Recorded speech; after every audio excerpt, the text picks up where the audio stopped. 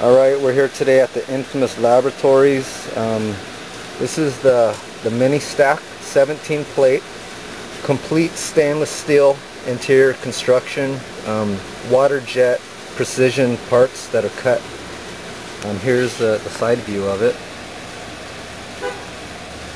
Now this is, uh, all this is is distilled water with just a pinch of um, baking soda and uh, go ahead and hook it up and I'll show you the, the production. Now right now this is only producing in uh, Poland, almost six and a quarter amps. There's just so much output that uh, pretty much boils the water, making it white. Here's the side view with the water gauge. And here's the amps. Available.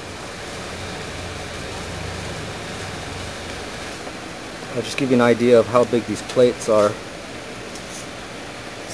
Two and a half by four inches times 17.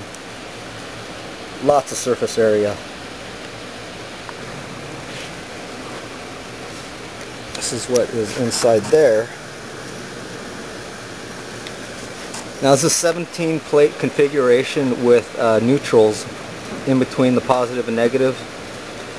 And also the plates have, I don't know if you can see in the reflection, they are treated for high performance. This is a, a two-step process. Uh, 304 stainless steel uh, set up for high performance. It has a, a treatment done to the plates. So there's the internal complete stainless steel uh, construction so you won't have any corrosion.